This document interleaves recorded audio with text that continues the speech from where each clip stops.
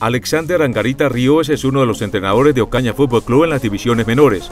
Una de las canchas utilizadas para el desarrollo del campeonato municipal es la del 20 de julio, donde generalmente se juega la categoría Baby.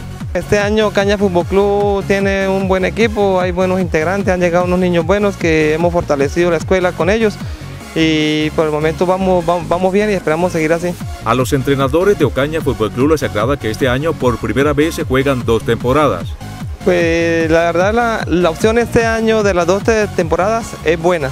Es buena porque ya los niños se van a, reflejar más en el campo de juego y, se va a trabajar más con ellos y me parece buena opción con, con, las dos temporadas. Alexander Angarita Ríos finalmente manifestó que Ocaña Fútbol Club de este año seguirá siendo protagonista en los festivales y campeonatos municipales de fútbol en todas las categorías.